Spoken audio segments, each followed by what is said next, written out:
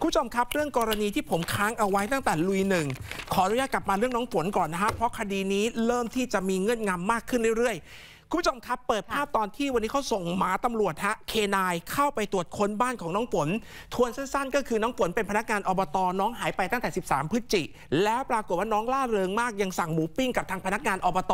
บอกว่าพรุ่งนี้หนูจะเอาหมูปิ้งกินนะพี่ และหลังจาก 13 พฤศจิปรากฏไม่มีใครเจอน้องอีกเลย จนกระทั่งสุดท้ายเนี่ยคุณผู้ชมฮะเมื่อวานนี้เนี่ยเราไปเจอที่นอนของน้อง โดยเบื้องต้นเนี่ยทางฝั่งสามีก็คือพี่ปอค่ะพี่ปอเนี่ยแกเอาที่นอนไปทิ้ง แต่ต้องบอกก่อนนะฮะพี่ปอเองเนี่ยเดี๋ยววันนี้เขาจะชี้แจงกับเราด้วย หลังจากที่เอาที่นอนไปทิ้งแล้วเนี่ยภาพที่นอนฮะมันไปเจอว่าที่นอนเนี่ยมันมีร่องรอยเหมือนจุดดำๆด่างๆ ก็เลยเกิดคำถามว่าเฮ้ยไอ้รอยดำๆด่างๆเนี่ยบนที่นอนมันคืออะไร วันนี้จึงนำมาสู่การเอาหมาตำรวจครับไปดมเสื้อของน้องผู้หญิงเนี่ยนะฮะ และหลังจากนั้นเนี่ยก็เอาหมาตำรวจค้นรอบบ้าน คุณผู้ชมครับเพื่อจะตามหาทางด้านของน้องว่าฝนน้องเนี่ยหายไปไหนเนี่ยนะฮะน้องฝนกวินนา ปรากฏว่าวันนี้คุณผู้ชมฮะมันไม่ใช่เรื่องง่ายเพราะอะไรรู้ไหมฮะวันนี้หลังจากตอนที่เอาหมาเนี่ยเข้าไปตรวจค้นนี่ฮะมันจะมีภาพของสุนัขตำรวจ แล้วก็เจ้าหน้าที่ คุณผู้ชมเชื่อไหมว่าการค้นครั้งนี้เนี่ยเขาไม่ได้ใช้กำลังนิดเดียวนะฮะ เขาเอาตำรวจมาเนี่ยคุณผู้ชมฮะ20 กว่านายอืมโดยอย่างแรกเลยผมสรุปย่อๆก่อนก็แล้วกันนะฮะค่ะเดี๋ยวเขาค้นอะไรบ้างเดี๋ยวจะประมวลภาพให้ทราบ อันนี้คือตอนมาค้นบ้าน แต่จุดที่ค้นเนี่ยจะแบ่งเป็น 3 จุดด้วยกัน วันนี้ถือเป็นเรื่องใหญ่ของตำรวจ จุดที่หนึ่งเลยเนี่ยเขาค้นสวนหน้าบ้าน ยาวจนกระทั่งไปถึงตรงบริเวณแอ่งน้ำซึ่งมันเป็นเหมือนเหว เห็นจากภาพกราฟิกใช่ไหมฮะเพราะพื้นที่มันจะกว้างขวางมากๆ ปรากฏว่าในจุดนี้เนี่ยเขาไม่พบอะไรผิดสังเกต แล้วประเด็นก็คือ หลังจากนั้นเนี่ยเขาก็เลยเอาหมาไปค้นบ้านต่อฮะภาพหมาที่ค้นบ้านเมื่อกี้นี้ครับ โดยทันทีที่เอาหมาไปค้นบ้านเราไปเจอกับทางด้านแม่ผัวของน้องฝนเราก็ถามทางฝั่งของแม่ผัวว่าคุณป้า พูดความจริงหน่อยว่าฝนไปไหน ทุกวันนี้มันเกิดอะไรขึ้น เพราะเพื่อนๆที่ทำงานบอกว่าฝนไม่มีทางด้วยความเคารพนะฮะจะฆ่าตัวตายแน่ค่ะๆวันนี้คุณป้าแกก็เปิดใจกับเราอย่างตรงไปตรงมาครับคุณผู้ชมฮะ ปรากฏว่าคุณป้าเล่าให้ฟังอย่างแรกเลยคุณผู้ชมฮะ ก็คือแม่สามีใช่ไหมแม่สามีเนี่ยคือป้าสุพิษครับ นี่ เปิดภาพตอนหมาตำรวจคนรอบบ้านขึ้นมาประกอบด้วยนะครับ เพราะกำลังจะบอกว่าวันนี้สิ่งหนึ่งที่คุณแม่ต้องอธิบาย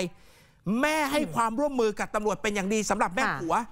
แล้วก็ยืนยันว่าเขาก็ไม่รู้ว่าน้องฝนหายไปไหนอืมขนาดเดียวกันเราถามบอกคุณแม่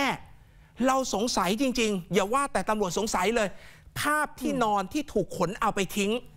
น้องฝนหาย 13 พฤศจิ ที่นอนถูกขนเอาไปทิ้ง 14 พฤศจิ มันก็เลยมีคำถามว่าแล้วทำไมต้องเอาที่นอนไปทิ้งในวันรุ่งขึ้น แล้วก็มีรอยดำๆด่างๆเนี่ยนะฮะล่าสุดเลยเนี่ยคุณผู้ชมครับ วันนี้ทางคุณป้าซึ่งเป็นแม่ผัวเนี่ยนะฮะเขายืนยันว่าเหตุผลเนี่ยรอยปริศนาที่เราเห็นบนที่นอน เขาบอกว่ามันไม่ใช่รอยเลือด โดยเขายืนยันบอกว่าที่นอนหลังนี้ มันเป็นของคุณปู่ใช่ ก็คือพ่อของปอ พ่อของปอ แล้วคุณปู่เนี่ยเหมือนกับว่าน่าจะปัสสาวะลดที่นอน เพราะท่านเป็นคนแก่ ดังนั้นรอยที่คุณผู้ชมเห็นจึงไม่ใช่รอยเลือดของน้องฝนซึ่งสาบสูญไป ประกอบกับมันเหม็นฉี่มากๆ แล้วที่นอนหลังนี้มันเก่า เลยขนไปทิ้ง ดังนั้นวันนี้คุณป้านี่ท่านก็น่ารักนะ พาไปเปิดห้องนอนน้องฝนเลยค่ะเราก็บอกคุณป้าขอดูหน่อยได้ไหมอย่าหาว่าอย่างนั้นอย่างนี้เลยนะ ถ้าสมมติน้องฝนด้วยความเคารพ โดนอุ้มหรือโดนทำร้าย เพราะพี่ปอสามีเนี่ยบอกว่าไปส่งน้องฝนที่หน้ามหาลัย แล้วปรากฏน้องฝนขึ้นรถเก๋งไปมีผู้หญิงสองคนมารับ ถ้าสมมุติว่าน้องฝนมีปัญหากับผัวเอาง่าย ๆ เลย และทะเลาะกันแล้วหายไป อาจจะมีการตีกันในห้องนอนไหมอันนี้เป็นข้อสงสัย ค่ะคุณป้าแกเปิดโชว์เลย ในห้องไม่มีอะไรผิดปกติเลยฮะใช่นี่ ปรากฏว่าในห้องของน้องฝนถูกวางอย่างเรียบร้อยและเป็นระเบียบขณะเดียวกันเรื่องที่นอนคุณป้าสุพิษก็ชี้แจงว่ามันจบแล้ว ลูกชายไม่ใช่เป็นคนแบบนั้น เพราะทุกคนอาจจะสงสัยปอใช่ไหม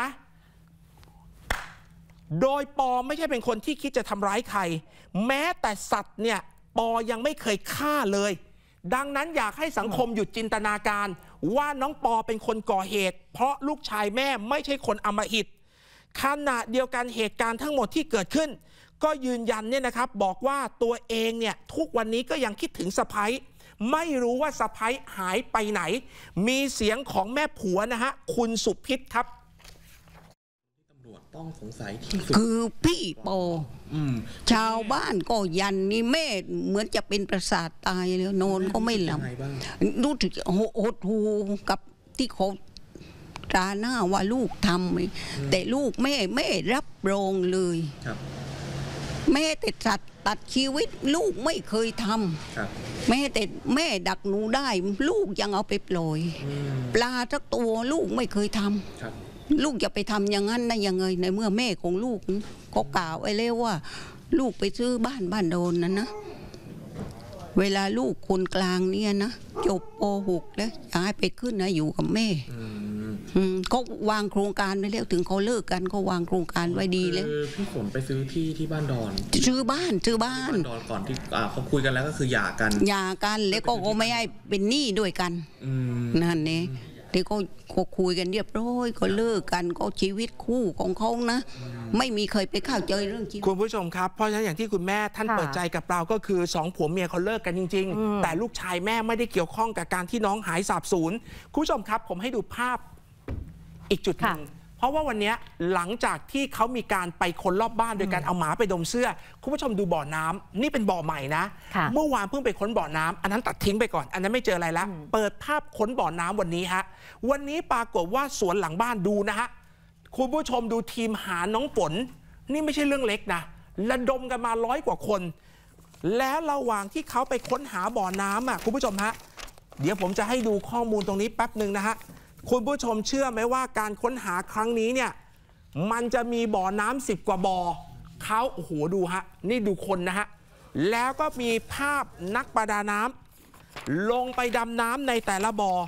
เพื่อจะด้วยความเคารพไปหาน้องฝนนั่นแหละค่ะนี่ฮะ อันนี้คือดำลงแล้วนะฮะ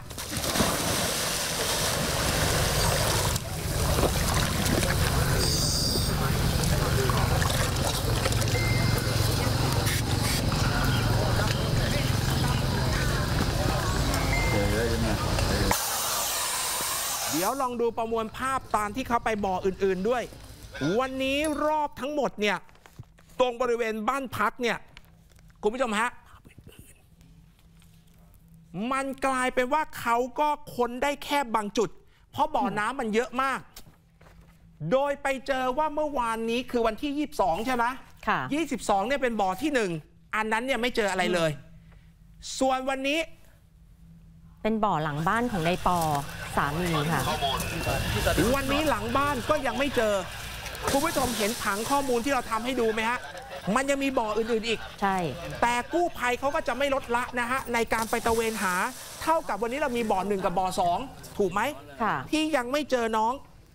คุณผู้ชมครับ และเจ้าหน้าที่เนี่ยใช้เวลางมกันเนี่ยนะฮะ วันนี้เนี่ยประมาณ 40 นาที นี่ฮะ อันนี้คือปฏิบัติการในการงม ก็ไม่เจออะไรอีกอะอืมก็ยังไม่เจออะไร แต่เหลืออีก 8บ่อจะเริ่มพรุ่งนี้กับการระดมคนร้อยกว่าคนหาน้องฝน